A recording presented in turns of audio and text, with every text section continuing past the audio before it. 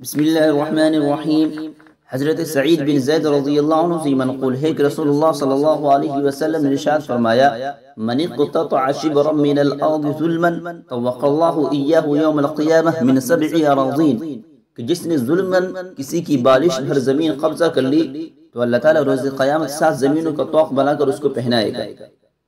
اس حدیث سے کیا بات معلوم ہوتی ہے؟ مطلب یہ ہے کہ آج ہمارے معاشرے میں غصب، چوری اور ظلم عام ہو چکا ہے۔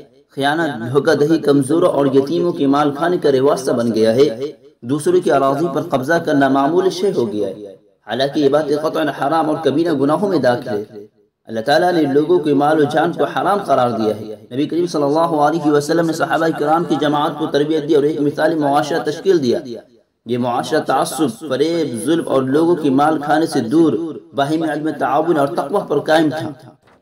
شریعت میں روا نہیں ہے کہ ایک مسلمان دوسری مسلمان پر ظلم کرے یا اس کی زمین ہڑپ لے یا کمزوروں کو ستائے۔ ایسا کرنے والے پر قیامت کے دن خدا کا عذاب ہوگا۔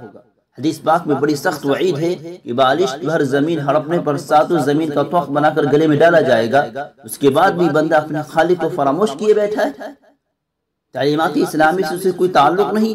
ہدایت نبوی سے اللہ پڑوا ہے کہ ایسے ظالموں کو اللہ کے نبی صلی اللہ علیہ وسلم کی وعید نہیں پہنچی کیا انہیں خبر نہیں کہ اللہ نے ظلم کو بالکل حرام کر دیا ہے کیا اللہ کی پکڑ سے انہیں کوئی خوف نہیں۔ ہے فرمان الہی ہے اعوذ باللہ من الشیطان الرجیم ان بطش ربک لشدید۔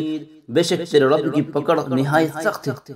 کیا انہیں علم نہیں کہ اللہ رسول صلی اللہ علیہ وسلم کا وعدہ بالکل حق اور سچ ہے؟ ڈرنے کی بات ہے کہ غاصب کے گلے میں جب سات زمینوں کا توق ڈالا جائے گا، تو اس کو کیا بنے گا؟ وہ کبھی اس کو نہ اٹھا سکے گا، بالآخر وہ دو زک کے گڑھے میں جا پڑے گا۔